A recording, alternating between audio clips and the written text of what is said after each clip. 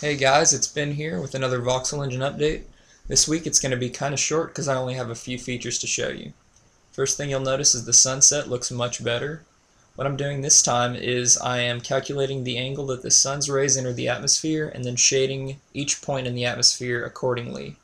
The uh, geometry for the atmosphere is a geodesic dome and as the sun is low in the sky it emits a sort of orange glow that you should see reflecting off of the water as well.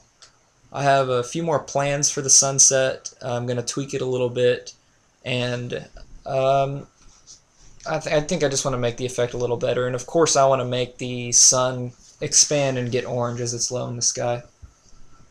In addition, you'll notice the leaves have changed a little bit. I'll fly over to a deciduous forest to show you.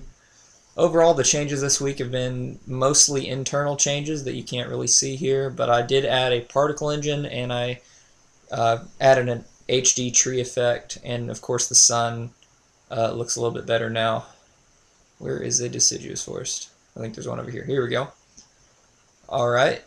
So the the forests themselves have unique trees, and each tree has its own color now, as well as fancier leaves if you choose the option in the options menu. When you break blocks, they drop particles uh, corresponding to whatever block you're breaking and I think I'm I'm really loving the way the particles work. So I think I'm going to incorporate that into how you collect items and things like that.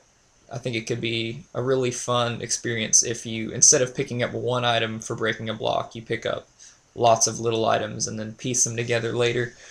And it'll allow me to do things like have random gems pop out of stone blocks when you break them, things like that. The engine's pretty quick right now. It can handle a lot of particles at once, and I'll illustrate that right now.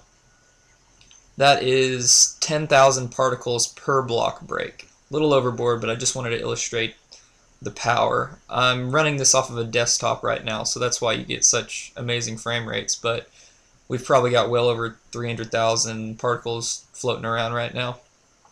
We seem to have made a big mess here.